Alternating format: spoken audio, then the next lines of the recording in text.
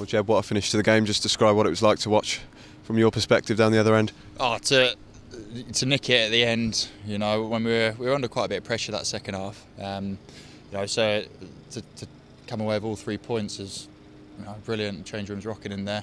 Um, you know, we'll we'll analyse it and, and see where we sort of could have gone better and have, what we could have done better in that, that second half. But at the end of the day, three points at this stage of season is, is massive. You had a massive hand in that. Could have gone the other way very easily. You made a, a crucial penalty stop at one-one.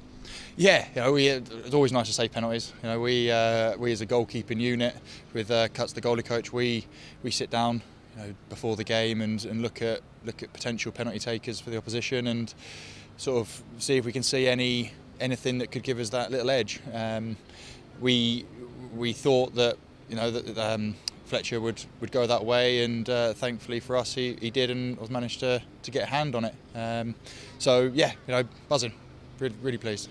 Where is this spirit coming from? Perhaps a couple of months ago, it's a result that would have fallen by the wayside. How did you go and turn a one-all like that, a solid point on the road, into a win like that?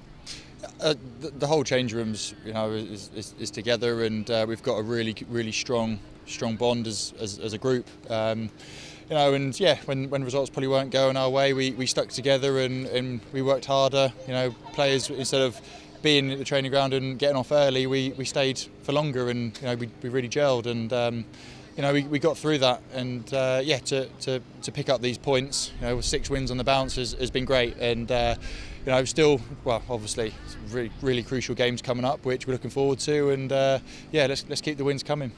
Six to go now, We're three points clear inside those playoffs tonight. Momentum continues.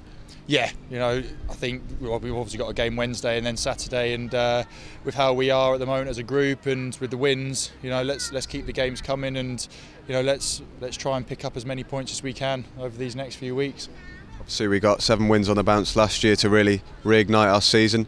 How much do you want to go and do that again on Wednesday now? Oh, obviously, like every game as it comes, we, we want to win and we, we need to win. Um, so yeah, we're looking forward to it. It's going to be a tough tough place to go, but you know how we are, how we are playing at the moment, um, especially in that, that first half, you know, and how we have done the last few games is, you know, we, have we, played well at the end of the day. So um, so yeah, confidence is high, and looking forward to these these these remaining fixtures.